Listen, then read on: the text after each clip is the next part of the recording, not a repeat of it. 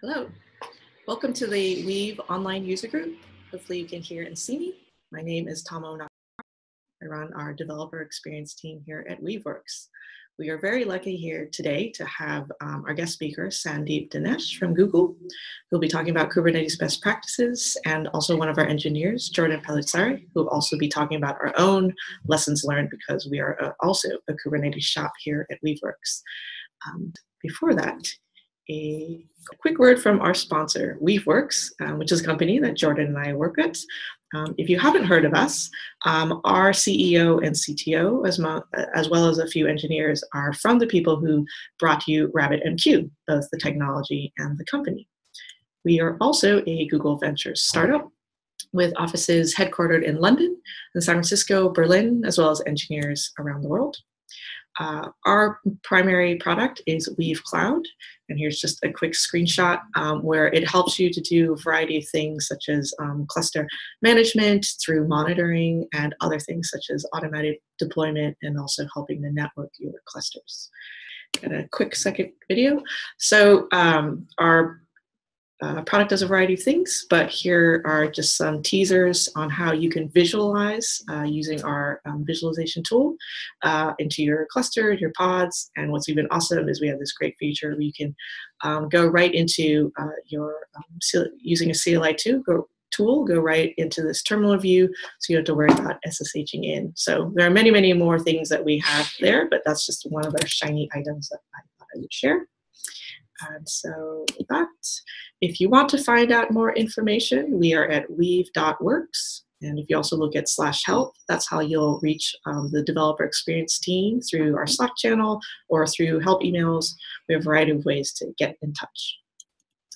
So today, like I said, we're very lucky to have Sandeep and Jordan. So with that, we thank you again for coming and I will switch it over. We see Sandeep there. Great. So Sandeep, if you want to share your screen. Yeah, let's get started. Okay, awesome.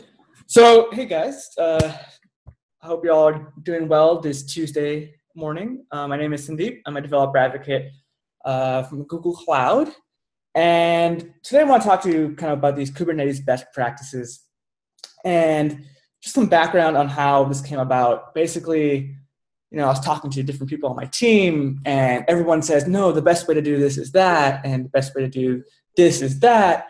And I said, hey, let's just take all of these things that we know is the best way to do stuff, and then, you know, put it into a document. And so we started doing all of this, and we started getting more and more ideas around the best ways of managing your containers, deploying your to production, things like that.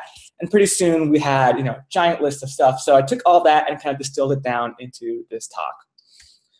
And the reason why this whole came about is because Kubernetes is really flexible. Uh, it was designed to let you do kind of whatever you want.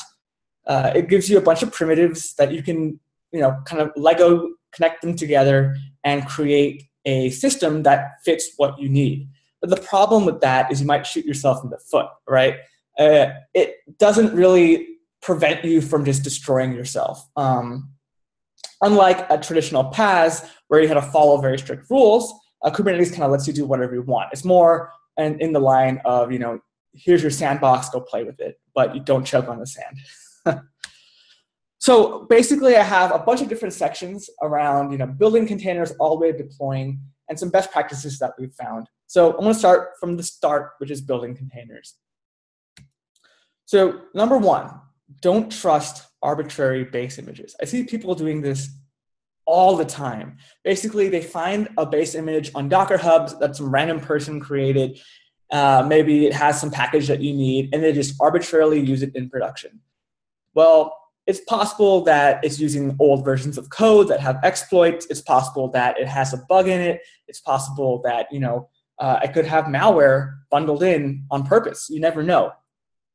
And so one thing you can do is try to run some sort of static analysis of containers. So CoreOS has Clair. There's a lot of these open source ones available. And what these do is they basically scan your container and look for known vulnerabilities, right? So let's say it's using an old version of Node.js uh, that's been deprecated that has a remote code execution exploit. It'll find that and show that to you. Um, so this is a good place to start. but I highly recommend starting from the smallest base image possible and building from scratch. You know, building your packages that you need uh, manually instead of trying to rely on other people's uh, base images. Now, other people's images are great to get started, but again, uh, using small base images and using their own base images that you trust is very important. And another reason to use these small base images is just overhead, right? So let's look at a typical Node.js app. Let's say your app is about five megabytes of code. You have about 95 megabytes of dependencies because it's Node.js. And so you have about 100 megs of quote unquote your application. Now, let's look at these Docker base images. If you just use the Node 8 off the shelf image, it's almost 667 megabytes of stuff.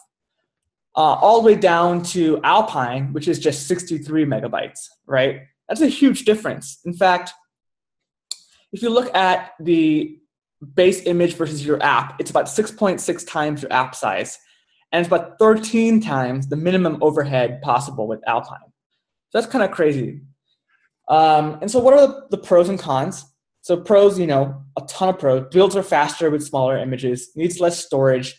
Uh, cold starts are much faster. So, when your application starts for the first time, it has to pull that whole Docker container down. Obviously, it's going to be 13 times faster. And potentially, there's less attack surface, which with less packages and less things inside your container, if someone does get uh, access to your container, there's less things they can do to attack. Now, of course, there are cons. There are less tooling inside the container. And of course, it's not a standard environment. Something like Debian versus Alpine, there are differences that you have to take into account. But for 99% of use cases out there, using the small Alpine images is just better. So I highly recommend doing that. The next thing that is really cool, uh, don't see too many people doing yet, but I see more and more people doing as time goes on, is using something called the builder pattern. Now, this really is useful for static apps like, uh, sorry, statically compiled apps like Go or C++, things like that compile. Uh, and it looks something like this, right? So you take a code, you have a build container that maybe has a compiler, dev dependencies, unit tests, things like that. It runs through all that stuff. Then it takes your static artifacts, uh, your build artifacts like binary static files, bundles, maybe transpiled code, things like that. And then it takes just those artifacts and then bundles it into a runtime container. And so this just has a runtime environment and maybe some monitoring tools as well. And the nice thing is, you know, Docker brings native support for this in Docker CE 17.05, which is a few versions old at this point. So if you're using the latest and greatest version of Docker, you can do this natively without a lot of scripting. And it looks something like this. So in this case, I'm building a Go application and you can see I'm using um, Golang Alpine as the build environment. Then I'm building my app. Uh, and then I'm taking that static binary uh, and then just copying into a standard Alpine environment. So I don't have the Go uh, compiler and runtime and Go path and all that stuff. I don't have any of that in my production container. All I have is Alpine with one single binary, which is my compiled Go application. And so again, anytime you're doing any sort of compiling, this makes a lot of sense. So you say you have TypeScript and you're compiling it into Node.js, makes a lot of sense. Uh, Go, Rust, whatever. So highly recommend using this pattern. Again, removes the surface area for attack and makes smaller containers, which is great. Okay, so those are some quick things on building containers. Now I'm talking about what's actually inside your container, which I feel is a little bit more important. So one important thing, very important, is to use a non-root user inside your container. And so how this looks like is, let's say I'm using, um, again, a Node.js app. I do my apt-get update and I install some, you know, dependencies like ImageMagick, and I need to do that as root. And once it's done, I'll create a Node.js user and then uh, do everything else as that Node.js user. I don't need to be root inside the container. Now you might wonder, you know, why is that important? Uh, isn't the container kind of isolated from the main system?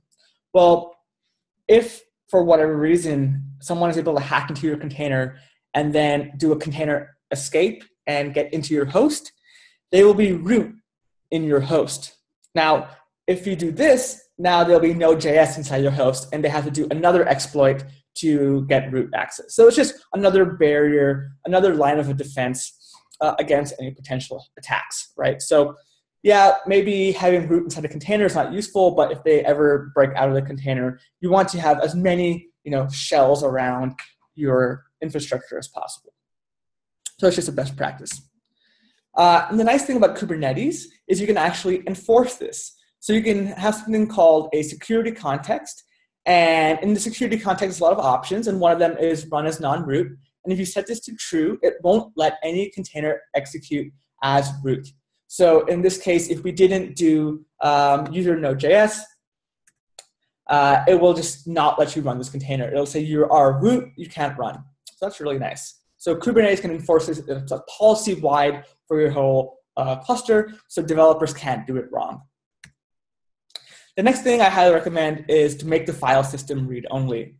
And again, Kubernetes can enforce this uh, with another security context option, read-only root file system true.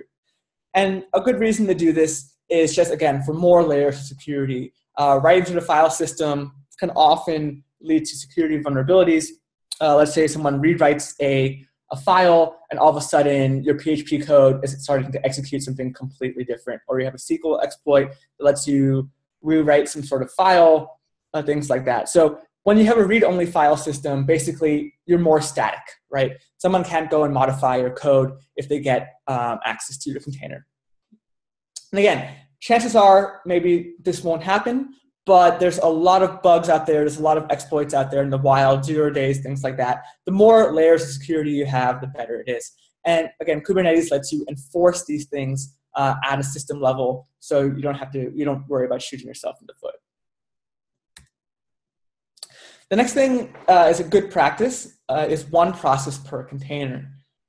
And so what I mean by this is uh, you can run more, multiple processes in a container, um, but it's highly recommended to just run one. And the reason why is Kubernetes and other container orchestrators, you know, they, they do health checks and things like that. And the way they operate is by default, if the process is running, it's healthy.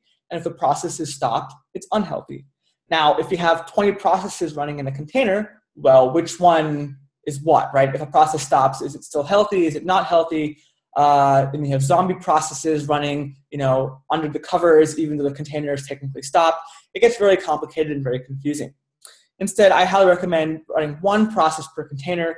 And then if you do need to run multiple processes that need to talk together, using, uh, using the pod concept to run multiple containers, each one running one, one process, and then using a pod to run them all together.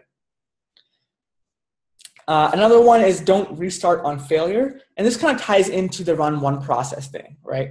So what I mean by this is for a lot of you know, traditional systems that run on VMs, uh, use something like PM2 or NodeMon or some sort of watcher process. You can tell I'm from the Node.js world. But any sort of thing that kind of watches your process and if it crashes, it'll restart it, right? And this is important for high uptime. If a process crashes, uh, it's nice if the computer can automatically restart the process so you don't have downtime. Now, in a Kubernetes world, Kubernetes will actually restart the container for you, so you don't have to do this. It's instead very important that you clean, uh, uh, not clean, uh, crash cleanly instead. And so this means that you, you know, clean up everything you can and then crash with a error code. Now, Kubernetes will detect that your process has crashed. And the important thing is it'll update your logs and things like that with, hey, this process has crashed, or maybe it's crashing a lot for some reason. Maybe the node has failed, things like that, right? So you want Kubernetes to kind of handle the crashing of your application and make let it do the decisions of when to restart and rerun your application on maybe a different VM or just restart it there, things like that. And if you are, you know, catching these uh, errors and then restarting your application and not letting Kubernetes know, then these errors will bu- bubble up to your developers. So it's important to let Kubernetes handle failure. Um, another very simple one is to log everything to standard out and standard error. By default, uh, Kubernetes will listen to these pipes and again send it to your logging service. So on Google Cloud, for example, uh, standard out and standard error go to Stackdriver logging automatically. So you don't have to sort of you know tool your own logging systems. Just log everything with standard out and standard error. Best practice. Now, this is no longer the case in modern versions of Kubernetes, uh, but if you're running an older version of Kubernetes, it's a good idea to add something called a dumb-init to prevent zombie processes. And so here's how you do it. Yelp has a dumb-init thing that they invented that you can just kind of add into your container, and you run that as your entry point instead of the raw command. And so what this does, again, not necessary on newer versions of Kubernetes, again, in 1.7, 1.8, not necessary anymore. But again, what this does is it allows your process to be able to handle um, uh, Linux kernel events like sigterm, sighup, things like that. Normally, your Node.js process or your Go app or Ruby app doesn't know how to handle these um, interrupts. And so it'll just do weird things. And so if you have an init system like systemd or dumb-init or whatever, it'll able it's able to handle these um, these signals. And you know, running a full init system like systemd is very heavy, so that's why you use dumb-init. But in 1.7, uh, Kubernetes will take care of these signals for you, basically. Uh, it'll do reaping of processes that are you know in a weird state. So you don't have to do this anymore. But if you're running an old version of Kubernetes, which I know a lot of people are, still a best practice to use a dumb init system. Or a full init system like systemd if you're okay with the overhead. Now let's move on to deployment. So we built our container, we've kind of made our container internals nice and good. So now let's actually deploy these containers onto our systems. So one option is to use the, rec rec the record option or record um, option for easier rollbacks. Um, so in this case, I just do a dash dash record uh, when I do my deployment. And so what this will do is every time there's an update to my deployment, it'll actually give me what caused that change, right? So in the first one, I basically did the apply with the deployment.yaml, and then in my second one, I edit, I did edit, and so I know what I did there. And then the third one, I did a set image, and I changed the image to app2.o, right? So the nice thing is I can roll back to revision one, two, or three at any time. And if I didn't give the record flag, basically I could still roll back, but I just wouldn't have the change cause uh, recorded. That's the only difference. Again, it does take a little bit of storage space, uh, but it's trivial, trivially small. So again, I recommend using the record flag uh, for production deployments. The next thing is to use plenty of descriptive labels. This is actually one thing I don't see a lot of people using very often, especially when they're starting out. Uh, when you start getting into more production scenarios, that's when I start seeing people use more and more labels. And labels are really powerful things in Kubernetes. Uh, so here's an example of a label. You know, so I'm saying this deployment has a label name web, color blue, experimental, true. Uh, and you might notice that experimental true is in quotes. That's because true is a Boolean value, and I want a string, so I put it in quotes. Um, yay for YAML. Now, what can I do with these, these labels? Again, they're arbitrary key value pairs, so you can do whatever you want for your system. Uh, in this case, let's say I have four containers. Uh, they are all part of the app Nifty. Some of them have different phases, and some of them have different roles. So let's say I want to select all containers called with the, that you know are part of the app Nifty. Well, I can do that with just app equals Nifty. Let's say I want to select all backend containers. Well, I can do that with role backend. Let's say I want to select the dev containers. Again, I can do that with uh, the phase dev. Or let's say I want to select the front end containers that are also a phase dev. Now, again, it's just selecting one container, not all three, because they're additive. So I can kind of cut and slice my containers in any sort of way I want by using labels. And any sort of system that builds on top of Kubernetes usually leverages labels pretty heavily uh, for reporting, for monitoring, for uh, deployment, for anything, what have you. Uh, and services use labels for load balancing, things like that. So again, I highly recommend using as many descriptive labels as you find necessary. Now, sidecars. So sidecars, like I said before, so pods can contain one or more containers. Again, if you're running multiple processes, I recommend using multiple containers in a pod. And so one good reason to run another process is something called a sidecar. So let's say you want a proxy or a watcher or something like that, a, another process that helps the main process do its job. Uh, in Kubernetes land, we call these sidecars, and they look something like this. So let's say that we have a, a database, um, maybe the database is off, off cluster, right? It's running somewhere else. Now, it kind of sucks if you have to hard code your database credentials and database location into all of your apps. Instead, you can deploy a proxy. Uh, for example, the Google Cloud SQL proxy acts like this, and you deploy it as a sidecar for your app. So now your app just talks to uh, a standard port over localhost uh, with maybe no no credentials. It's just you know a raw connection, and the proxy takes care of the secure connection the remote database. And so this makes your app development so much easier because when you're running locally, you can just connect to a local database instance for testing. And when you deploy it, it looks the same. You're still connecting to a quote unquote local database over a local host, but the proxy is doing the connection to the remote database.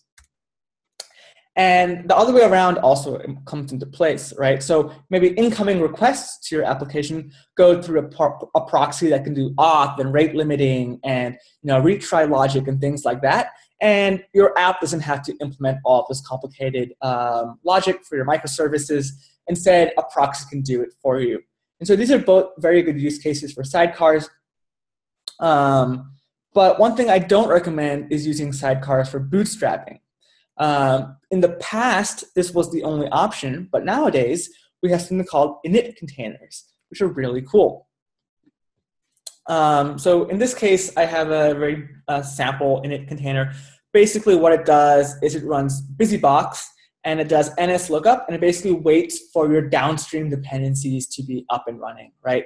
So let's say that your app depends on two different microservices a my app and my db basically this will wait until both of those are up and running before starting your container and this will prevent a lot of errors and things like that so again if you need to do some sort of bootstrapping phase uh, I highly recommend using init containers. If you need to do something that you know constantly does some sort of loop and watches your process for changes, then I would use a sidecar container. So for proxies or for things that you know auto configure depending on network status, things like that, then you can use a sidecar. So depends. Sometimes use init containers for one-time things. Use sidecars for things that always happen.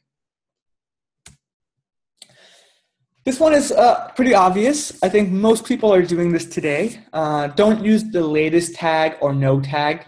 Um, what this kind of means is by default, if you don't give a tag for your container, it'll basically try to pull the latest one from the container registry. So Docker Hub, GCR, Quay, whatever. The problem with this is it won't know what the latest is once it starts caching it on the node. So once it pulls it down and it's cached on the VM, the Docker in, in, uh, image is cached. Well, uh, how does it know that the new one has been uh, updated? If you use a very specific tag, I re- really recommend using a git hash, for example. Then every time you have an update to your Docker container, you just change that tag and it'll pull the latest one down. There's no question about, you know, is it running the latest or old version? It's running that exact specific version. So again, most people are already doing this. They're not doing this uh, bad practice. They're doing the right thing. So I'm not too worried about that. Now, this is something that most people aren't doing are using readiness and liveness probes. And readiness and liveness probe basically give Kubernetes more insight into your application so it knows if it's healthy, it knows if it should, you know, start serving traffic to it, things like that. Again, by default, Kubernetes just says process running, process not running. If the process is running, it's healthy, process is not running, it's unhealthy. Now, obviously, that's a very naive look at, you know, uh, applications, modern applications. So readiness and liveness probes let you specify very specifically if, you, if your application is healthy, if it's ready to start serving traffic, and things like that. So I really recommend you know, defining these probes, uh, and it's not very difficult, right? So readiness probes are basically is the app ready to start serving traffic. Um, I think this is required for any production application, right? Otherwise, you know, you might have like a big Java app that needs to do a lot of, comp, uh, you know, booting up the JVM is taking a while, and Kubernetes starts serving it traffic when it's not ready yet. Uh, with a readiness probe, is it ready? Yes, it is. Then it starts getting traffic. Now, liveness probes are basically like, is it still healthy? Uh, maybe your application has a memory leak and eventually it starts going out of sync, right? Now, if you have a liveness probe that says, you know, you have to return this answer within 10 milliseconds and it starts getting slower and slower and slower, eventually the liveness probe will fail and Kubernetes will uh, reschedule, restart that, kill that container and restart it somewhere else. Again, I think these are really good to define. Maybe it's not 100% necessary for your application, but I think it's a really great thing to define, um, especially for production applications. Now, sometimes it can be the same endpoint, but sometimes they're different. It depends on your application. Now let's move on to services. So we have talked about containers, uh, what's inside of them, how to build them, and then deploying them. Now, services are another very important part about Kubernetes. So one thing I see is when people want to expose a service to the internet, they use type load balancer. Now on Google Cloud, on AWS, on Azure, on these cloud platforms, this will spin up a cloud load balancer, which is really cool. You know, you get all that high availability and you know uh, high performance from your cloud provider, but it does cost some money. Um, you know, you had to run that load balancer. So let's look at some alternatives to that. So one is Ingress. Now on Google Cloud, Ingress will spin up a L7 load balancer. On AWS, I think it'll spin up a application load balancer. I'm not sure. But it's awesome because it lets you load balance multiple services through one endpoint, right? So you have one load balancer that can do smart uh, traffic routing, depending on things like subdomains or path, things like that, and it can send traffic to the appropriate backend service through one single endpoint. So you one pay less money, and two have a lot simpler setup. You don't have multiple IP addresses that you have to do DNS load balancing with. Instead, you have you know one load balancer that can map to multiple backend services. Now, of course, this only works for things that are on the HTTP level, right? L7. So if you're doing TCP or UDP stuff, this won't work. But most people are doing you know web stuff, and this works perfectly for that. Now, another thing that I've seen some people recommend, and I actually recommend it, um, not everyone at Google recommends this. This is more of a personal opinion. I think type node port can be good enough. And what node port does is it exposes your service on the VM on a, on a port, right? So maybe port 80 or port 10,000, whatever. Um, the problem with this is it's not as highly available because you know if that VM goes down, uh, you lose access to your whole service, right? Versus a load balancer, which is more uh, highly available. But if you're just running a service that doesn't need that high availability, but you want lower cost, Node port can be a great compromise. And again, uh, if you're on a cloud platform like Google or Amazon, things like this, use static IPs. Um, they're free. Uh, if it started there because you know if you're running on-prem, then maybe they're not free. But I highly recommend for any sort of load balancer that you're using, VMs that you're using, you know, use a static IP for it. Don't just use a, um, ephemeral IP. And so on Google Cloud, this is really easy to do. Uh, for Ingress, you can create global IPs. Um, for uh, load balance uh, type load balancers, you can use regional IPs. And for again, for the load balancer, you can just put in that IP address in the load balancer IP, and then for our ingress, you can just give it a global static IP name. Uh, and for this case, I said I call it ingress, so I call it ingress here. And so what this will do is whenever you spin up that service, maybe you accidentally destroy the service. When you spin it up again, it'll have the same IP address. So you don't have to you know, change your DNS settings or things like that. Um, instead, you have this hard-coded IP, which is much nicer. The next thing I recommend is mapping external services to internal ones. And this is something that most people don't know you can do in Kubernetes. So let's pretend you have a hosted database. Um, let's say it's my.database.example.com. Uh, basically, you can do something called an external name service. And so this will create a Kubernetes service that looks just like a normal Kubernetes service, but it basically does a um, CNAME redirect to the external uh, name. And so your internal services can just use the my database name, but it'll basically redirect them to my.database.example.com. So you don't have to know about where the database exactly lives as an application developer. Instead, the Kubernetes cluster manager can kind of just put in this service, and so you don't have to worry about it. And if you don't have a you know valid uh, DNS name, if you just have an IP address, then you can actually create a endpoint uh, that basically has a list of IP addresses. In this case, I just have one 10.128.0.2 with the port. And our service can basically send traffic to that list of IP addresses. And this is actually what Kubernetes is doing under the covers. It's creating that endpoint for you when you create a service. With this, you basically do it manually and you just give it those IP addresses manually. Um, so again, your applications don't have to care about those IP addresses. They just connect to the My Database service, and the service does the load balancing and the rerouting to the actual IP address. So again, you don't hard code you know, things into your application. Uh, let's look at application architecture quickly. Uh, I highly recommend using Helm charts. A Helm is basically like a repository for pre-made Kubernetes configurations, right? So let's say you want to deploy MongoDB. Well, there's a Helm chart for MongoDB. You just say Helm deploy MongoDB, and it'll deploy MongoDB to your cluster. Maybe you want um, Redis, maybe you want some sort of like logging, like an Elk stack, things like that. People have already done the work for you, so you can just take their charts, maybe tweak it a little bit, and then deploy it into your own cluster. Is really nice. Saves you a lot of time uh, and effort. You should also, as an application developer, just assume that all your downstream dependencies are unreliable, right? Maybe someone forgot to update their microservice. Maybe someone forgot to actually deploy their microservice you should always depend that any service that your service depends on is going to be unreliable. And so your application shouldn't just start crashing. It should maybe return an error message, maybe you should have some retry logic, things like that. Um, and I was talking about these retry logic, auth, rate limiting, things like that. Um, well, let me go through that first. So one thing that can help with all these things is something called a service mesh.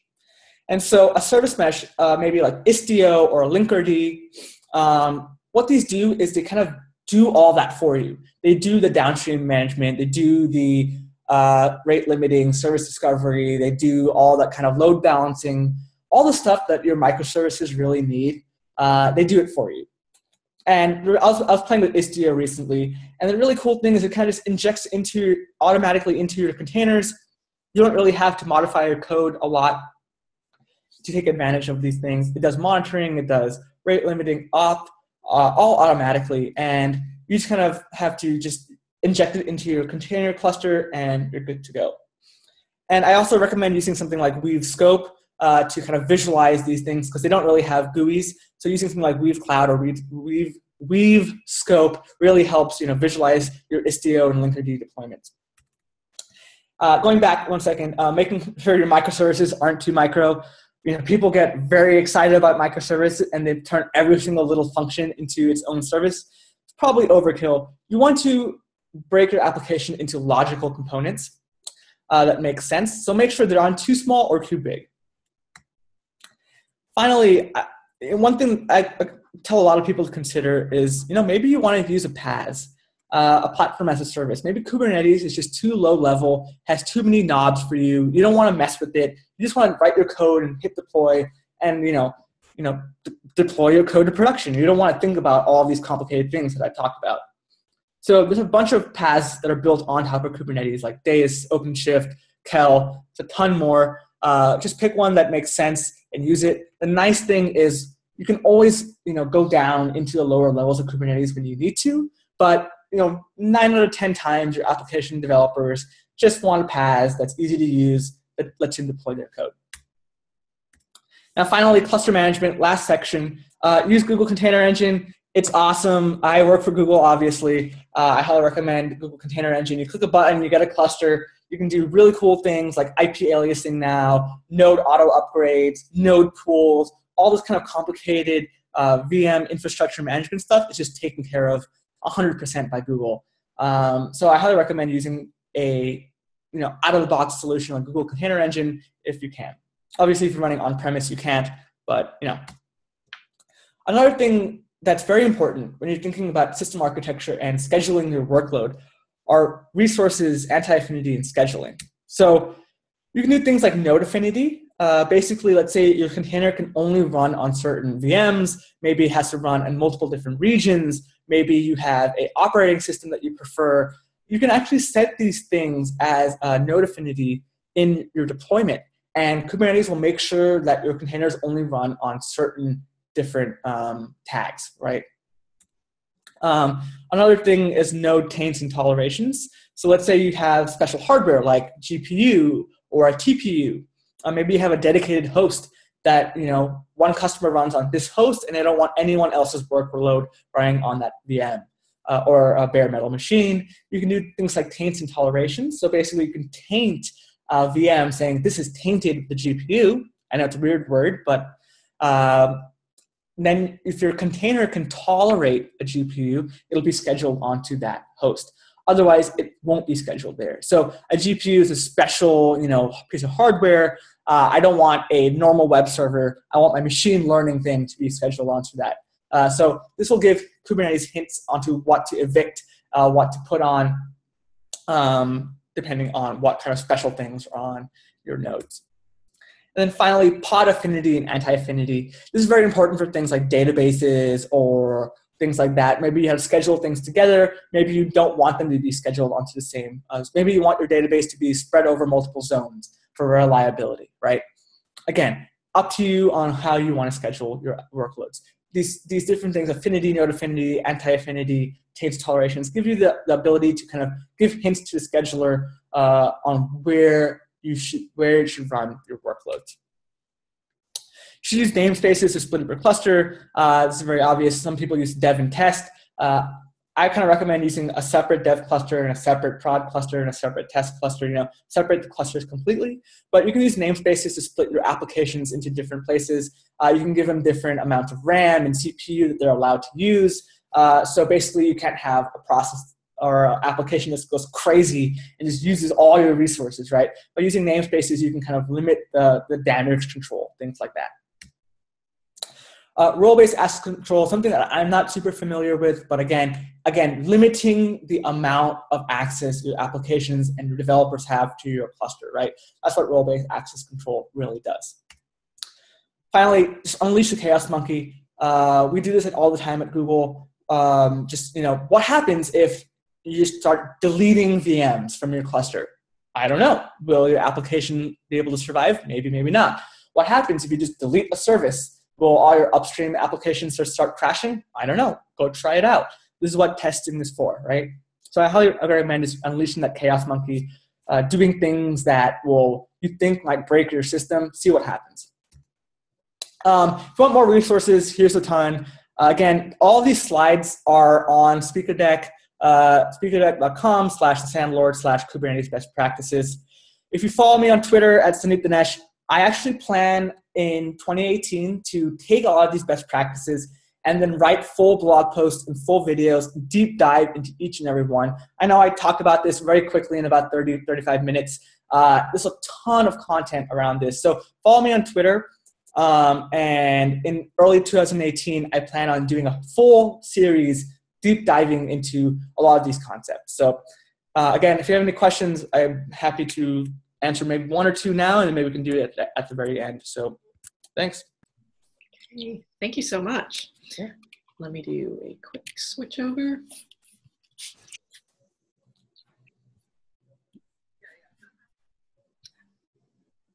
Sorry about that.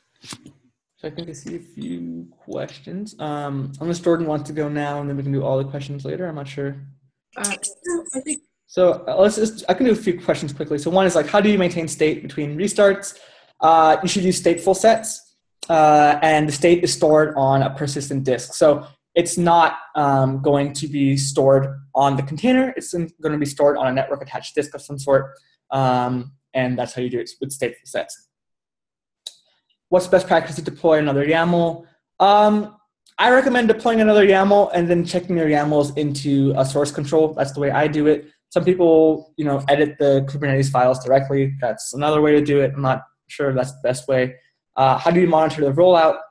Um, this is where something like Istio comes into uh, place or Spinnaker. There's a lot of tooling that's designed to you know help you with you know rolling stuff out, things like that. You can do it with kubectl too, but it's a lot less um, lot less control. Uh, links recommended proxies. Uh, Google Cloud SQL proxy is just for us. Uh, there's not too many that I know about off the top of my head. Uh, init containers don't use the annotations in 107, 108, correct. I was doing this in 1.6, so that's awesome. Uh, makes it much easier to use init containers, which is great. Uh, Yes, node port surface support on all nodes and routes to active service. Exactly. So you can do things like DNS load balancing, but it's not as you know good as a te- technically as a you know cloud load balancer. So you do have a little bit less uptime. Let's keep going. Do you know which CNI supported network Calico Weave is most similar to GCP network?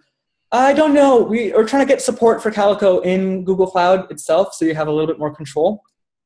But uh, don't know which is the, the, most similar to the GCP network. Ours is pretty unique. uh, GCP is great inside uh, Google Cloud, troubleshooting guides. Yeah, I'm not the best expert on outside Google Cloud. There's a lot of tools like again, KOps, uh, kubeadm, things like that, which really help running the outside Google Cloud, outside Azure, things like that. Uh, but I'm not the super expert. Which chaos testing tools do you recommend? I don't. That's a good question. I don't know if there's any tools. Um, but you can just do it manually for now. Uh, I'm sure someone someone has tools. I just haven't found any good ones. Uh, Linux Windows clusters. That's pretty hard to do in in Kubernetes right now, as Windows doesn't really have anything but alpha support for Kubernetes. Uh, Miss Reddit slides really thank you. Someone someone posted the chaoskube. Awesome. I will post my slides in the chat as well. But just take a time. Let's move to Jordan's talk. Don't worry, no, no rush. We're, we're trying to go as fast as possible. okay, it's okay. It's all right. Um, yes, I just wanted to quickly mention to people, um, you know, we checked with the speakers. Sometimes speakers like to take questions in the middle of the talk. Some people prefer at the end. So um, both our speakers today preferred at the end. So thanks for all of your great questions in the chat. Um, if you wanted to follow up or want some more information, we can certainly um, follow up with you. I'll also share our Slack channel at the end. And um, yes, we had a couple questions about, you know, is this recorded? It is. Yes, it is recorded. And will the slides be shared? And yes, we, we will share the slides. So again, thanks for that. And with that, we will switch over to Jordan. Okay, so my name is Jordan. I'm a software engineer here at Weaveworks. Uh, so I'm just going to be talking about sort of the, just sort of dovetail with the stuff that uh, Sandeep talked about, sort of talked about how we implemented Kubernetes ourselves and some of the lessons learned we had. I'm going to try to talk fast because we're short on time, so I'll try to answer as many questions as I can at the end. So um, to tell you a little bit about our stack and our, our cluster um, and our, give a sense for our scale. Um, so we've got uh, about 72 different deployments spread across 11 namespaces, uh, and it's a 13 hosts last I counted, and about 150 containers. So that's a pretty standard for a small startup, uh, maybe a little bigger than normal.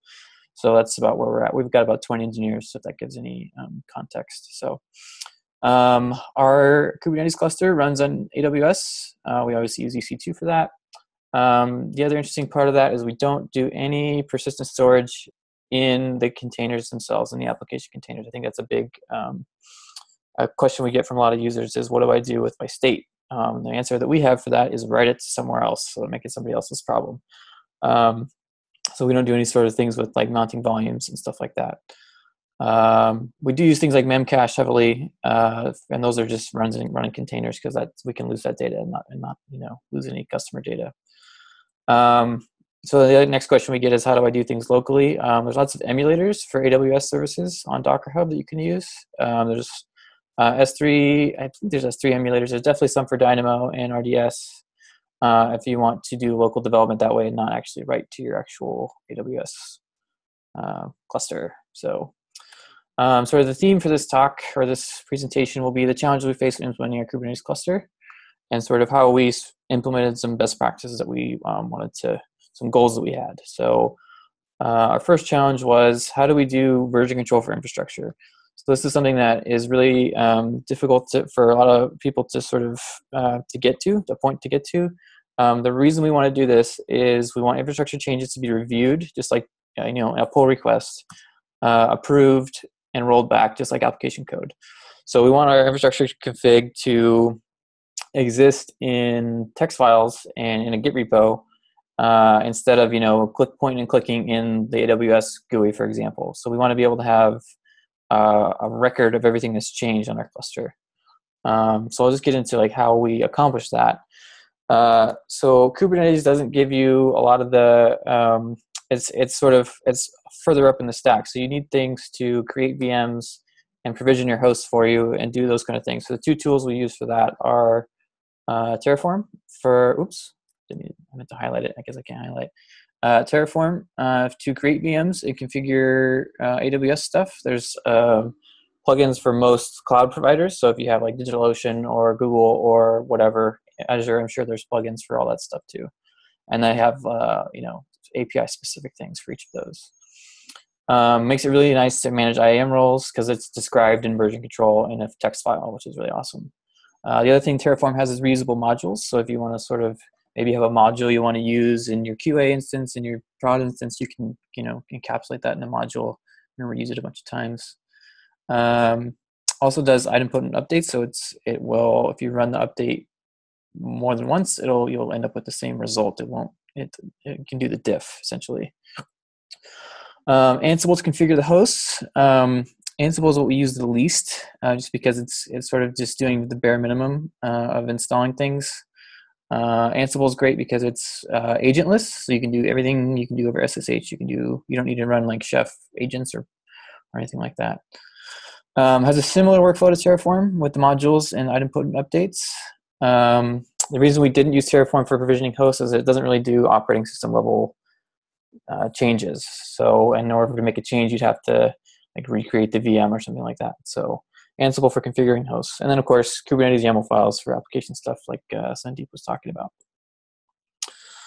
Okay, so that's version control, control for infrastructure. So all this stuff lives in a Git repo. Um, we um, have, you know, the same pull request workflow you do for uh, application changes, you can now do for infrastructure stuff. And that'll sort of dovetail into my next piece here, which is um, one problem arises where you can have something different from version control than you do in production.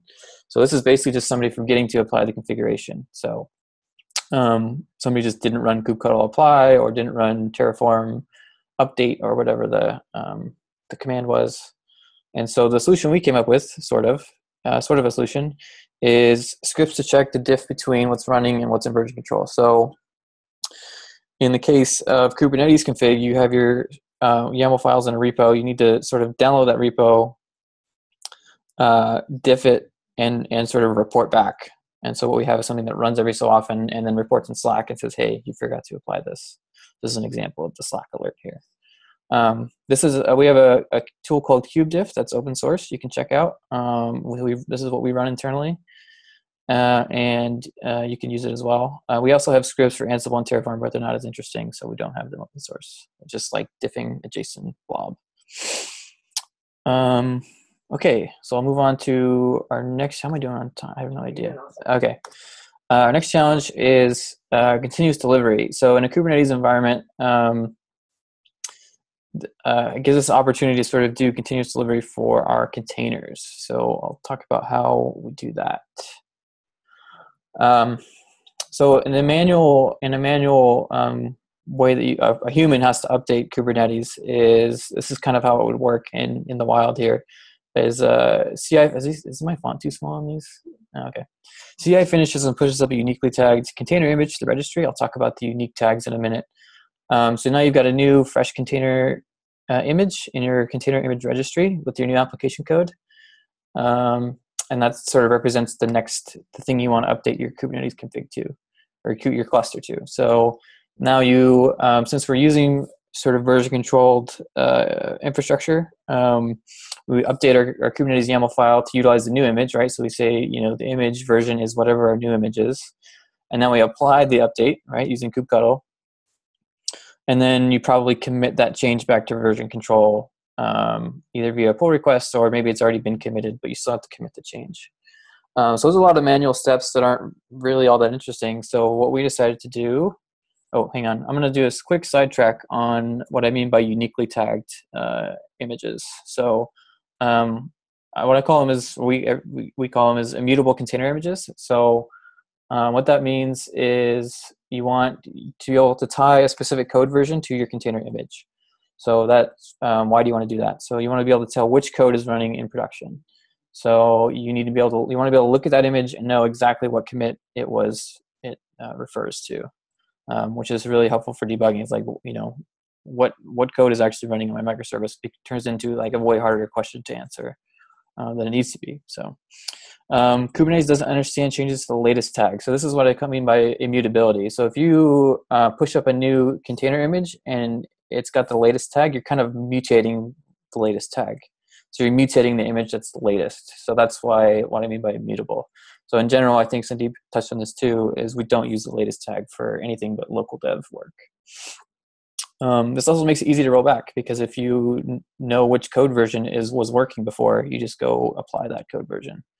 Um, so yeah, so this is a um, an image uh, image here from our registry or a registry that shows like we have the, the branch and then like the short hash uh, of the application code. Um, this is just done with like a make file. Um, there's a, a, lengthier blog post on on this uh, on our Weaveworks blog. You can check out that I wrote.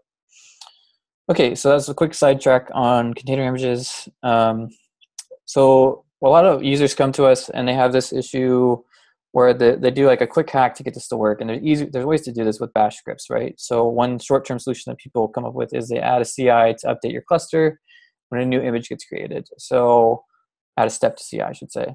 So that just means like your Jenkins or whatever will go and like run, maybe run the kubectl command. It'll push up an image and run the kubectl command. Um, it also has to then save that back to version control. If you want to use our our um, our, our version controlled infrastructure, so then you have to like do some cloning and diffing and sort of editing of files in CI, which is kind of clunky and it turns into a rat's nest quickly. Um, so uh, yeah. So what we our our sort of long term solution that we came up with is we built an internal tool to, to manual to do to automate those manual steps. So we built a tool that will do these things for us, uh, these four steps. Um, it's called Flux. Um, we turn it into a product. So this is a, one of our main products in uh, Weave Cloud. Is we have a um,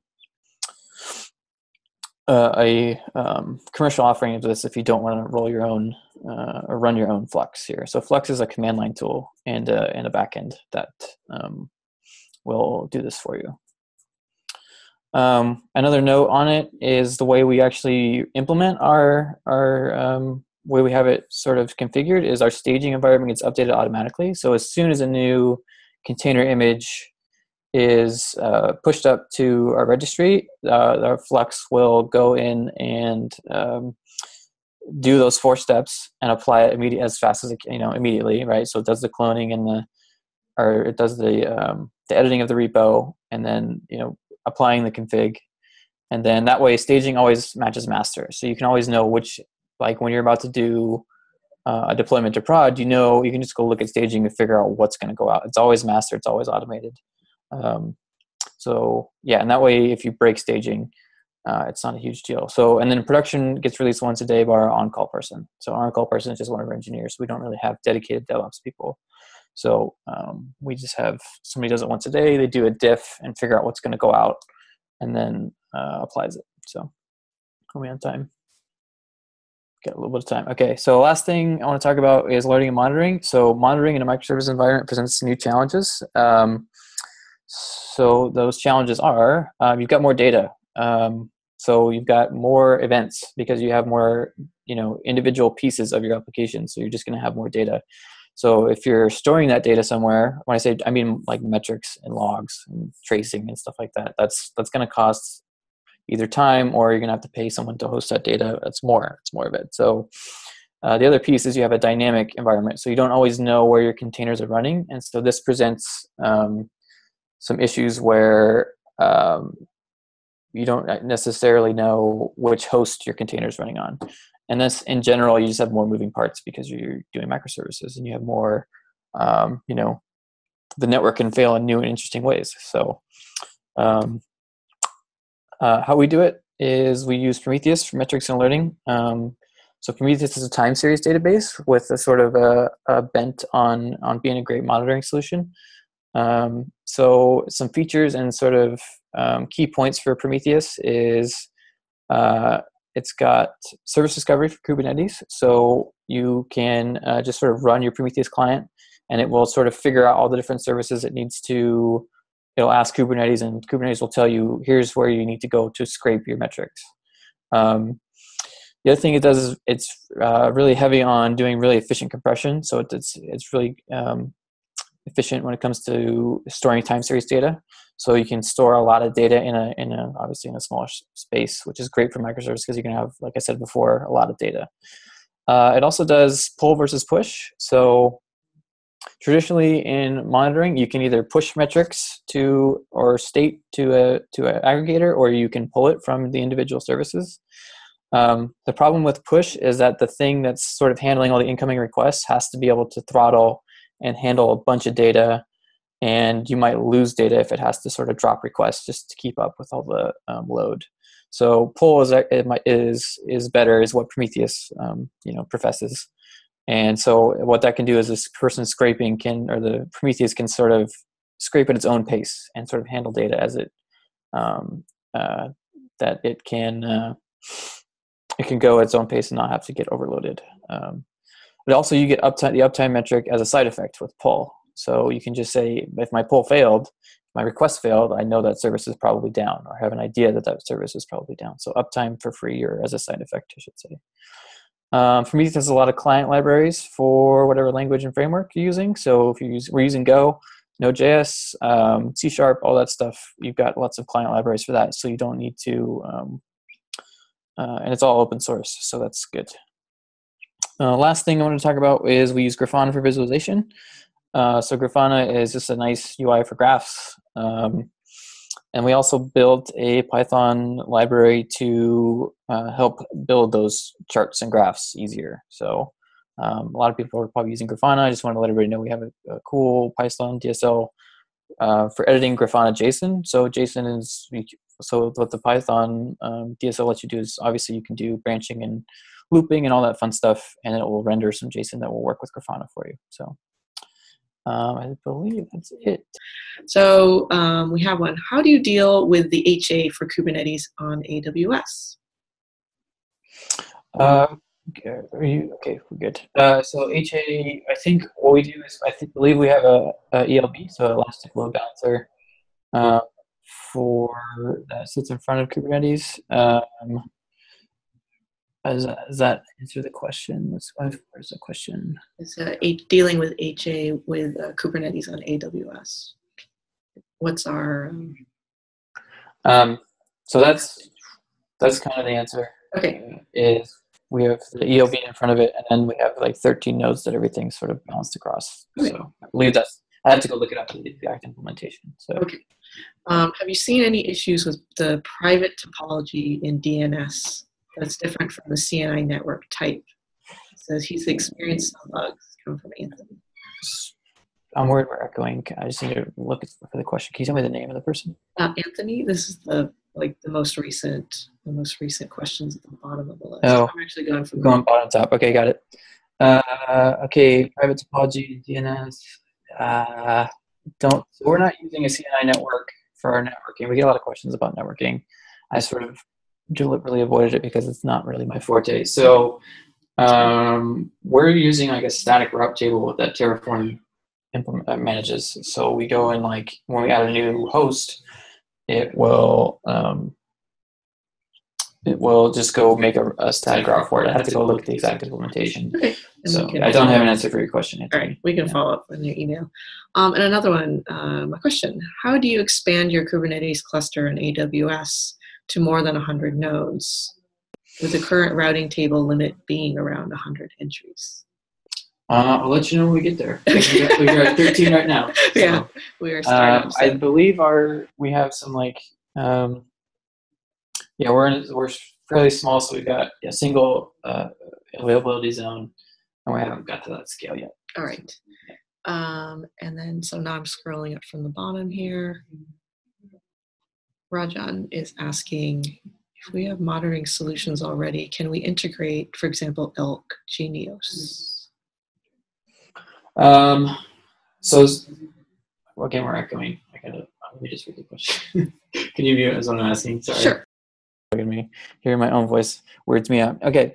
Uh, so monitoring solutions already. So Elk, I'm not familiar with Elk. So um, Prometheus, the way you work with Prometheus is you sort of instrument your application with sort of like let's say you're like for us it's a like if it's a Node.js app for example, you have a middleware that will will sort of um, be able to uh, gather a bunch of metrics and then exposes the metrics endpoint to be scraped.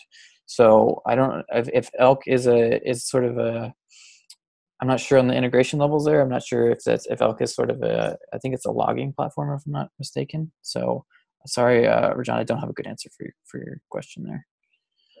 Turn on my mic for one second. From Sudeep, um, can you talk about the storage needed for the Prometheus time series data? What if there is a security requirement to keep the metrics for 180 days? Great question. So Prometheus will, I believe there's a retention policy you can set. So I can't the the data as far as the amount of storage you're going to need. Uh, I can't speak to that exactly. As I know it's that one of the sort of the goals of the project for Prometheus is to have it be very efficient at storing uh, data. So I think somebody I think somebody mentioned in here uh, that uh, Prometheus is good at short term. Short term, you can do things like a federated uh, Prometheus uh, cluster, which will um, you sort of downsample as you go if that's your use case. Um, there's been some really interesting work on the federated um, uh, you know use case for Prometheus where you sort of chain them together. Uh, the other option is to use Weave Cloud. So we offer a Prometheus as a service as part of our product. So because a lot of people have the same uh, requirements. So our our current um, SLAs will store your Prometheus data for 13 months. So uh, we've got a project called Cortex that you can check out. That's a uh, an HA Prometheus.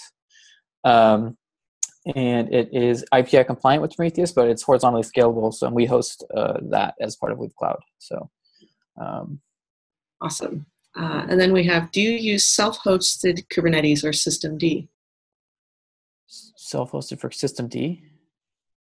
Uh, sorry, self-hosted Kubernetes or systemd. Uh, we use uh, self-hosted. I think is the. I don't think we're using systemd heavily, so it's just running on AWS. Um, we've got some scripts that sort of spin things up, and we use uh, kubeadm, Kubernetes components running as containers versus at, oh, I think okay, so kubelet things like that. Um, so I believe those are sort of. Uh, I don't think those are systemd. I think we just sort of uh, Ansible just installs those and tells them to run. I think is how that works. Let's follow up on that. Yeah, got it. Um, I think this might be the last one. Do you use kops to spin up clusters on AWS, or how do you deal with TLS certificates and ingress? Good question. Um, so TLS certificates, I think so. There's a piece of that that's uh, I know Ansible is responsible for copying things back and forth. Uh, I'd have to go look up exactly how we do uh, certs. Um, I know I, I don't know to what extent we use Kubernetes secrets. Uh, I know I've used them a little bit. I don't know as far as TLS stuff goes. I should also probably mention that we're sort of uh, running inside of a uh, a uh, AWS VPC. So the networking, there's not a lot of uh, there's not a lot of I don't know if we're using TLS within.